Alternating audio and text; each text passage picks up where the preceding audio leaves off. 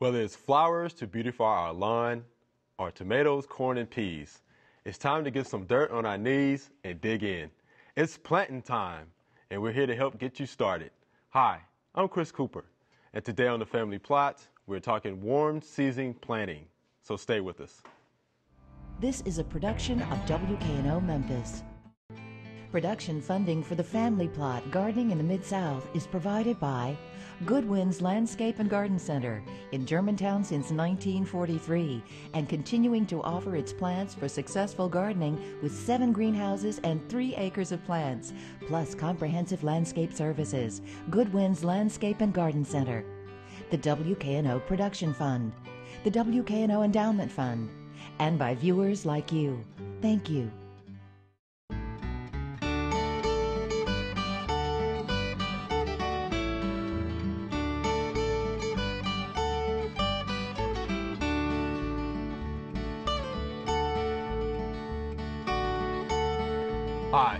Welcome to the Family Plot. I'm Chris Cooper. Joining us today is Tom Mashour. Tom is a master gardener, and he's also our vegetable expert. How you doing today, Mr. Tom? Doing fine. We have UT Extension Agent Mike Dennison. How's it going today, Mr. D? Very good, Chris. And we have Tonya Ashworth. Tonya is a UT Extension Agent in Fayette County, and she's also the coordinator of the Master Gardener Program in Fayette County. Glad to have you with us today, Tonya. Thanks, Chris. All right, let's get started, Tonya. You know, I'm eager to get out into my flower beds and get my plants going. How do I need to prepare my beds? Well, Chris, if you're going to uh, put in a new bed this spring, the first thing you want to do is lay your bed out, decide uh, the shape of it. A nice uh, curved line is really great, it's the natural form. Um, after you decide the shape of your bed and where you want to put it, then you need to do something about the grass that may be already there. Okay. Kill that. Uh, you can do that either by just taking a hoe and manually removing your grass, or you can even uh, spray an herbicide such as Roundup to kill the grass. Okay. Uh, remove the grass, and then what I would do is uh, get some compost to amend the soil. Um, maybe three inches, three to four inches of compost, uh, and till that in to a six to eight inch depth. Uh, adding compost to your soil improves um, the the composition of the soil. It opens up uh, pore spaces in the soil to allow uh, the the roots of your plants to take up air and the air and the water that it needs. So um, compost, and then after that, uh, you might want to do a soil test. You know, us Okay, extension sure. agents, we Sure. always recommend a soil test. It's so important um, to know what your pH is. Um, This is true. uh, if your pH is not correct, no matter how much uh, nitrogen you put on those plants, um, they're not going to be able to take it up correctly. So um, save yourself some time and some money and, and do a soil test. Okay. And make sure you kill that grass because Bermuda looks for flower beds. Yes. That's for sure. Now, next question is this full sun, part shade, full shade. These are not just suggestions, they're actually what the plant needs to grow. That's right. It's really important that you put your plants in the right places. That you know um, when you go to buy a plant, uh, what are the light requirements of that plant? If you mess up and you put a plant um, in the shade that wants to be in the sun, you're going to end up with a leggy plant.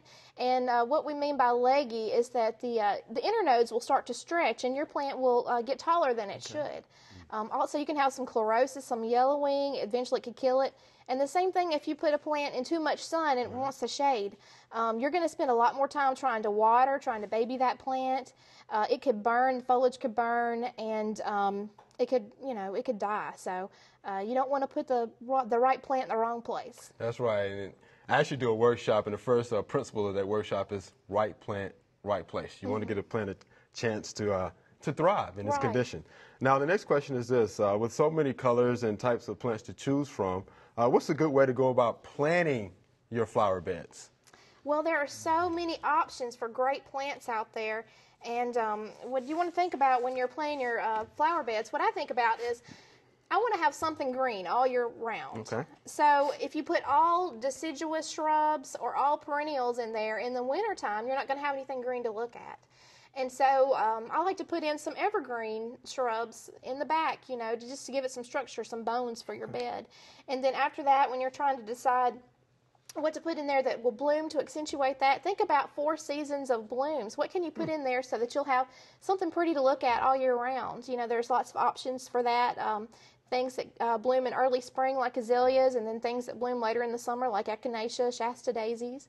So you want to mix it up, and also keep in mind um, what are your what are your in, your interests, your gardening interests. Sure. Like, for instance, I love uh, doing cut flower arrangements, Okay. and so I'm always thinking about what can I plant that when it blooms, I can get out there with my scissors and put it in a vase.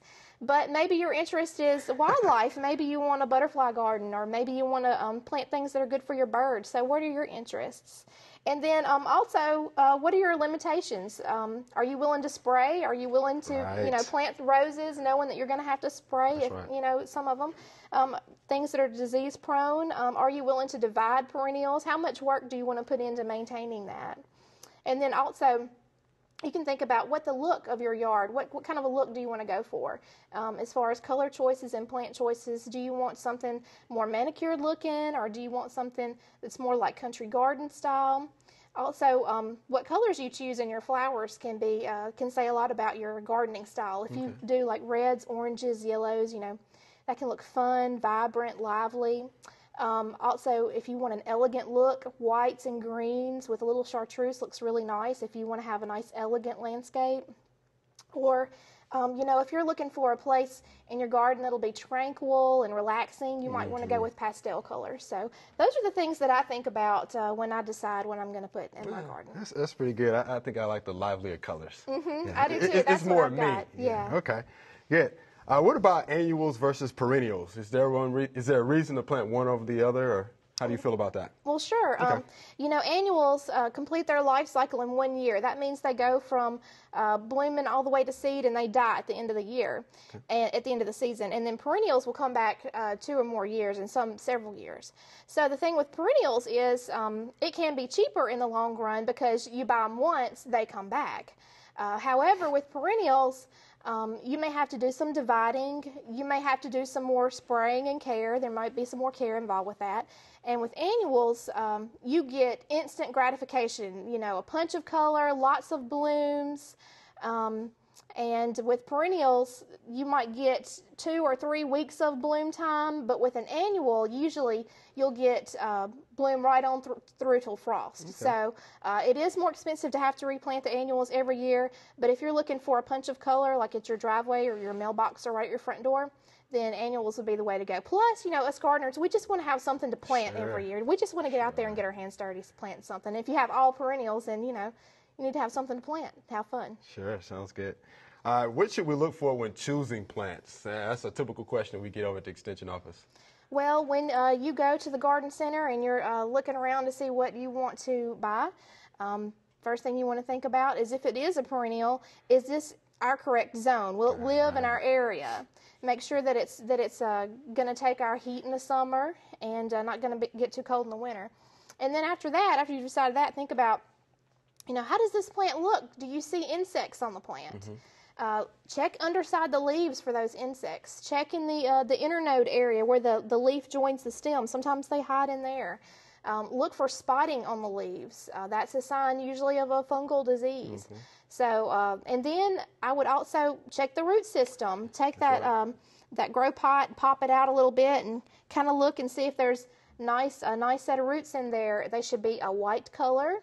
Uh, that indicates healthy roots and plenty of them. Okay. And also, too, uh, make sure when you're checking those pots, check for weeds because you don't want to get home and introduce a whole new weed population to your flower bed. So check that also. All right. What are some good plants for this area? There's another typical question that we get. Oh, there are so many. it's like um, where to start with that. But um, if you're talking annuals, things that are easy to grow, uh, just about foolproof, if you've never gardened much, should do for you. You know, petunias, impatiens, begonias, uh, sweet potato vine, anything like that. Um, I got a mixed pot this year that I planted with some millet, purple millet in there. Um, and a little bit of fern, a chartreuse fern, you know, just for a little bit of green color. so lots of choices with that. And then perennials, you know, you've got your daylilies and um, you've got iris. Um, I really like echinacea and Okay. Shasta daisy. They're really easy to grow. And then herbs, you can do um, lavender and rosemary is great. It comes, you know, it's evergreen. Uh, it stays green all year long. Comes back every year. Easy to grow. Doesn't require a lot of water. You can use it in cooking, and and so uh, makes it a good choice. So um, that's some of the things that I have in my yard. A good deal. I feel pretty good because I actually have some of those in my own landscape. So I'm doing all right. Good. It's not too bad.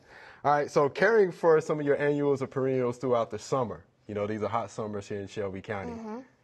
What are some of the things we need to do to ensure that our plants thrive and make it through these hot summers? Well, Chris, you want to make sure that you're always checking uh, the the soil the, for moisture. Um, you don't want to let things get too dry. And uh, also, you may want to check for insects too. While you're out there with that water hose, go ahead and, and look around. Make sure that the, you don't you don't have an insect problem. If you do, better to catch it when there's just a few insects than when you have a whole colony of insects taking over out there. So, uh, water, be on the alert for insects. Uh, you may have to do some light pruning. You could fertilize, uh, especially your annuals, make them really lush. Uh, you could fertilize with a liquid fertilizer uh, every 10 to 14 days or so. Um, you might want to deadhead some things, Sure. especially marigolds, um, roses. I like to just anything anytime I have a, a little piece of a dried up flower kind of hanging onto a plant, I go ahead and take those off if I have sure time do. because uh, your plant are, is trying to uh, go to seed, and so uh, when you deadhead, that allows it to have a new flush of blooms. Okay, well, sounds good. If you're looking for some garden inspiration, you might want to check out the Memphis Area Master Gardeners through our Garden Gates tour this Saturday. You can tour seven beautiful and creative gardens throughout Shelby County. Visit memphisareamastergardeners.org for more information about the tour. Trust me, you don't want to miss it. Also, Tom, you have a uh, plant sale going on at the Lucy Garden area, right? Yes, uh, May 21st, the same day. Okay. But I'll up in Millington, so hopefully there won't be any competition. Uh, but uh, Lucy Garden Club, which I'm the president of, is having our biannual uh, plant sale with plants raised by the club members and also uh, Evelyn Talata, Master Gardener, and also a propagator for the, uh, the zoo, is going to have uh, her eve, uh, her uh, stand out there where she's going to be selling tropicals and, and plants like that. And it's at uh, 4639 Cedar Hills Drive in Millington. It's three doors off of Raleigh Millington Road, which also happens to be my residence. Okay. and I'll be there to answer any questions about vegetable gardening. All right, good deal. So there's going to be a lot of things going on. And Tonya, did you also have something else going on? Yeah, on the 21st, I'm going to do a composting and or organic gardening uh, presentation at uh, Union Avenue Baptist Church in Midtown on Union Avenue. Uh, it's free and anybody can come out. Good. It's going to be a busy weekend that Mm-hmm. weekend. Now that we got our flower bed started, let's talk about vegetable gardening. Tom, for folks who may just be getting started, what are some warm season vegetables and what do we need to prepare to plant them? Well, uh, Tonya was right about first of all, select- if you're if you're got a new plot, Mm-hmm. you're going to start a new plot. Uh, good old uh, Roundup type uh, material to spray the lawn. Okay. You need to wait about three days for it to uh, move throughout the system, and then you can go ahead and till it, even though it's still it thinks it's alive, but it's dead. It just doesn't know it. Uh, and you till it, and also uh, I'm a firm believer in uh, using grass clippings, uh, any kind of humus of any sort, compost. Most people don't ha- make compost at home, but uh, you can purchase it at a reasonable price by the truckload, or bags of uh, inexpensive uh, compost, and till it in for the same reasons that Tony mentioned Okay. for air, and also uh, the standard old soil sample. And also, I recommend if it's, you're new to gardening, a vegetable garden, that you you start small. Uh, don't take on a big chunk. Maybe uh, eight foot by eight foot plot to start off with, uh, and then go ahead and uh, get that soil sample. Find out if you need to add any amendments. A lot of times, people will add uh, lime to their garden just because dad did it or grandpa did it and so forth. Right. But uh, every time I've had a soil sample taken at various locations, the pH was running between 6.5 and 7.0 or 6.8, which is ideal for most vegetable plants. Uh, very few plants like a really sweet soil, which is above 7.0. Um, and then I think you're just about ready to pick your plants and go at it. All right, that sounds good. Now, what are some of our warm season vegetables This, uh, that you warm- would recommend for here? for here again it goes back to uh, what you like to eat okay and the smaller the garden plot the more i want to reserve for those high priced items from the supermarket which of course tomatoes. I think I only ran into two people in my life who didn't like tomatoes. uh, peppers, squash. If you look at the supermarket right now, those are your, some of your higher priced items. I dearly like cucumbers. I love cucumber sandwiches, so I would have cucumbers, but they're a vining type plant, so Okay. you got to make a little bit uh, more space for them. So basically, your your warm weather uh, plants, and also the uh, the growing vegetables and home gardens book that uh, is free from UT on the uh, internet. Uh, it lists all the warm season plants, sure which does. includes again tomatoes, squash, tomatoes, a wide variety of tomatoes, peppers, uh, squash. And when we think of squash, we, we think about all kinds of different squashes are out there: winter squash, summer squash, cucumbers, uh, corn. Um, Beans and Beans, peas beans, and okra. okra. and Oh, yeah, all okra. stuff, yeah. oh yeah, we're in there. Yeah, we can grow all of those things here. Yeah, but sometimes the people make a mistake in growing the wrong season type vegetables. Right. I've had so many people say, "Is it okay to plant lettuce?" No, not this time. That's early February type plants, or uh, early September type plants. Okay. Uh, the next question is uh, when do we water and how much do we water? That, that's always a common question that we get. Well, uh, ideally, you water in the morning if you can. But if you come home from work and your plants are stressed out from lack of water, you water now. They don't want to wait. Uh, I like to keep the soil slightly damp, not soggy. Okay. Uh, a drip system works really well. Only problem with the drip system is you got to know when to turn it off. Otherwise, right there at the root zone, you can get it just really too wet. The nice thing about it is you don't uh, waste water on areas that there is no roots, no plants there. But uh, yeah, early in the morning is ideal. Okay. Again, if it needs it, water it, but just keep it slightly moist. You got if you flood it, uh, really get it really really wet, and depending on the type of soil. Now in my in my garden, because it's sandy loam, I have to water shallow and often. If you got a clay loam soil, then you water uh, relatively infrequently. It takes a lot more water to get it wet, but once it gets wet, it stays wet. wet. Right. Okay. Well, look, let's just move on to uh, so how do you keep these vegetables alive throughout these hot summers? all my grass clippings go directly into the garden, and I use it as a mulch, uh, keeping them, uh, keeping the ground shielded from the hot sun. Okay. It keeps the soil moist.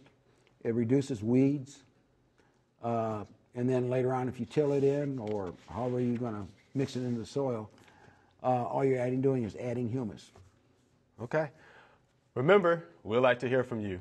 Here's how to send an email or letter for future shows. Send us an email with your questions and a photo or two. The address is familyplot at wkno.org. Or if you'd rather send a letter, the mailing address is WKNO Attention Family Plot, 7151 Cherry Farms Road, Cordova, Tennessee. The zip is 38016. We're looking forward to hearing from you. All right, we're going to start answering email questions. But first of all, last week we had a couple of questions about pecans. Uh, Mr. D, I think you have something for us to see here. Yeah, I went by and borrowed a few clippings off of a local pecan tree here, and uh, we have uh, several problems that have shown up here. Uh, probably the most uh, apparent problem is bacterial spot. We have the shot hole appearance on the leaves like this. Uh, that starts out as small black spots on the leaf, and then the little inside of the spots fall out and creates the shot hole appearance. Uh, this is one of the worst cases of bacterial spot that I've seen on pecans in a long time, probably due to the wet, cool conditions that we had in the past. But if you'll notice the new growth, the, the foliage out on the ends of the leaves tends to be growing out and tends to be clean, and that's because uh, we have warmer, drier conditions right now. But uh, we have questions about, uh, you know, why are what are these things hanging on my pecan trees? Right. These are these are catkins. These are the male fruiting structures of a pecan. Uh, the female fruiting structure of a pecan are the little nutlets right here, and uh, the uh, catkins are mature at different times than the nutlets, and that's what keeps a pecan tree from pollinating itself. You have type 1 and type 2 trees, and uh, this nutlet was pollinated from a catkin from another tree. But uh, also, uh, we have some phylloxera on here somewhere. If I can find there. It's up top. Yeah. Right here we have some phylloxera. This is uh, these little knots that are on the leaves or the stems are caused by uh, an aphid type critter at bud break. It's too late to do anything about that right now, but uh, we commonly see quite a bit of stem and leaf phylloxera in this area. Uh, but those are just some of the problems that are out there. Uh, we don't recommend that you do anything about it unless you have an air blast sprayer and can spray 150 feet in the air. There aren't many people that can do that. Right. The pecan trees are very, very tough. They're very resilient, and they do a good job of uh, tolerating, you know, quite a bit of, you know, fungal diseases and insect damage. Okay, that's good information. All right, here's an email question. It's Susan from Drummond. She wants to know about tomatoes, and her question is this. I have seen articles about growing tomatoes directly in bags of potting soil, but I can't find any suggestion of the size of bags to use. I bought bags that contain one cubic foot of dirt. Is this large enough for two plants? And then her second question is also, do you have any recommendations about a fungicide for tomato blight? Okay, I'll. s- Well, I'll take the one on the bags. Excuse me. Uh, you see these uh, tomato growing bags? Okay, they do maintain about uh, one cubic foot of uh, potting soil. However, uh, my recommendation is I would prefer those 2.8 or 3 cubic foot bags, if anything, just for the weight because your tomato is going to get big, and a one cubic foot bag is only yay big, and when it starts getting hit, it's going to fall over. With a 2.8 or 3 cubic foot bag, it's quite a bit bigger. You have a couple slots in it. Each of the roots has its own area to grow into. And uh, also, you, just like growing plants in containers, you do need to water it fairly often. You do need to punch holes in the side or in the bottom of the bags for drainage so it doesn't get waterlogged. Uh, even when you don't water it and rain comes, it could happen. And uh, you probably want to put a little bit of shade because a lot of these bags are black and it's going to act like an oven. Right, it's gonna heat When I was in the Boy Scouts, we had little black ovens that we actually baked in from in the- from the sun. Uh, that's good for biscuits, but it's not good for the roots. Okay. Fungicide? And fungicide, uh, there are several fungicides that'll take care of early blight and late blight in tomatoes. Uh, I look at the list, uh, decide which one you prefer. Uh, look at the waiting period. Some of them have actually a zero-day waiting period from the time that you spray until harvest. Uh, chlorthalonil, uh, Okay. uh, Daconil is, is uh, one that comes to mind there, but they're Manzate. Uh, there's, there's several of them that are out there. Just be sure that you follow the label directions. And you know, some of them have a seven-day waiting period. So that means if you spray your tomato plant, you can't harvest it for seven days. Uh, so, so watch that. The important thing is if you want to prevent blight, early blight or late blight from getting on your tomatoes, you need to go ahead and start that spray schedule. And I'd start it now and, and spray every seven to ten days until frost, and uh, and that will uh, control those fungal diseases. Wow, okay. Always read the label. We can't stress Always that enough. the label directions. Always. Okay, Tonya. Bill wants to know about lavender, and we talked a little bit about lavender earlier. He says, I started lavender from seed in February. It is about three inches tall right now. Can I transplant it to my garden now? If not, when should I transplant it? Well, anytime you're going to transplant uh, anything you've grown from seed, I think the best idea is to look at the root system. Do you have um, several nice, strong, healthy looking roots, uh, white roots? Um, because if you don't and you plant it, um, you- could get uh, roots drying out and um, and your plant could die. So I would say look at the root system. Does it look healthy? Look at the overall uh, plant. Does it look healthy and strong, or does it look weak and leggy? And I'd say you can go ahead and plant that if that's the case. If you have a nice, strong, healthy looking plant from the roots up. Okay. All right, here's our next question. Kelly writes I spoke with you last year about our magnolia tree that barely made it through the drought last year. And I actually remember that conversation. It has green leaves and buds growing out of the trunk midway up. Do you think this tree is coming back? Otherwise, it has lost all leaves. Should we reapply mulch? And we actually talked a little bit about mulch last week. But there could be a number of different things that are going on with this tree, Mr. D. That's true. Um, uh, I would make sure that the upper part of the tree is dead, and I don't know how I don't know how uh, old or how large this tree is, Mm-hmm. But if if the only growth is coming out of the mid part of the tree and the uh, uh, toward down toward the inside, you might want to. I would check, would scrape the bark on the upper end of the tree, and if you- you have dead foliage there, I would go on and prune that off, prune it back, um, and um, I would, you know, magnolias are pretty tough, and uh, I would, I would give that a try first.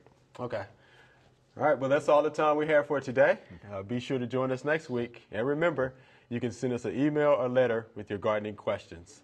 I'm Chris Cooper, and I'll see you next time on the Family Plot, Gardening in the Mid South. Be safe. Pretty nice.